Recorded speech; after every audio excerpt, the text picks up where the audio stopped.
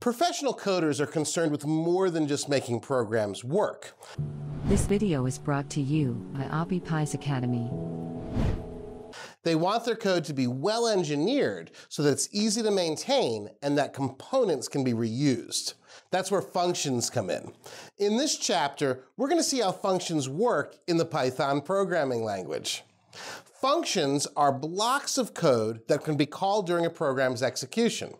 The purpose of functions is to help you compartmentalize your code into functional modules.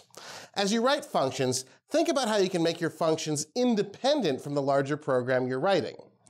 Limiting coupling, or making your functions largely unlinked from the surrounding code, is a hallmark of good coding. There's another concept in computer science known as separation of concerns, which says that different elements of functionality should be managed by distinct and minimally overlapping modules of code. As you become more experienced writing functions, you'll be able to build a library of commonly used functions that you can use again and again. I think that's enough computer science theory for now. Let's get to the code.